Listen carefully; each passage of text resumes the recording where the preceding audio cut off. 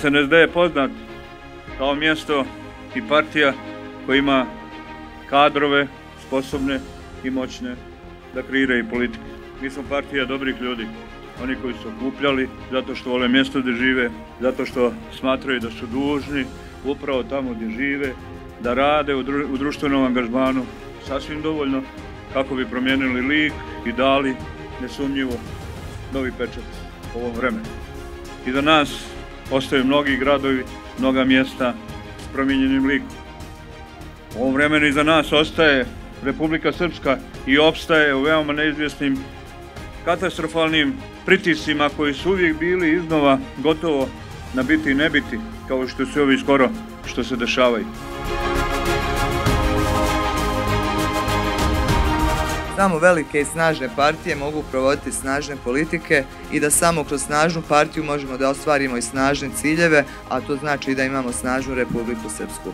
Nama bez Republike Srpske nema života ovdje na ovim prostorima. Onaj ko može da obezbijedi opstanak i napredak jeste Milorad Dodik i SNSD.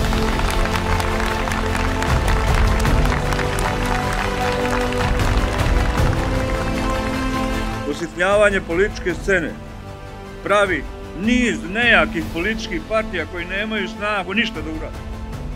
Samo snažne političke partije mogu da prave proteste i promjene. I te političke partije mogu da imaju odgovornost i mogu i smiju da izađu pred narod. Ja smijem da izađem pred narod. Bilo gdje, a pogotovo ovdje u ovom gradu.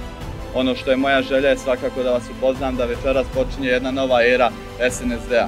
Jedna nova era funkcionisanja i razvijanja Krupe i cijelog kanjona Vrbasa. Na taj način mi ćemo sigurno u narednom vremenskom periodu biti zagledani u republički nivo vlasti kada su u pitanju nekakvi problemi sa kojima se susrećemo i rješavanje istih, jer smo svjesni da nova gradska administracija na nas ne gleda kao dio Banja Luke i da je apsolutna osjetnička politika koju smo nažalost imali priliku u prethodnih mjeseci da vidimo bila prisutna u našoj grupi.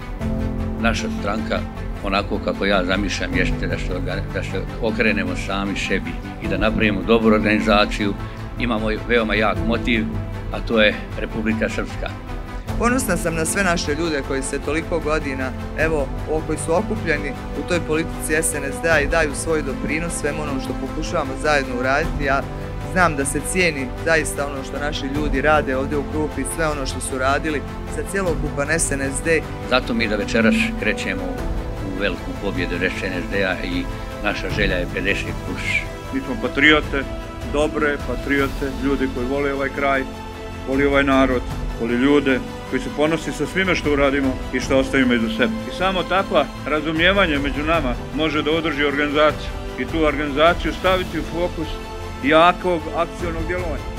Idemo sa jednim novim rukovodstvom koje će moći da okupi i svojim energijom okupi sve članove.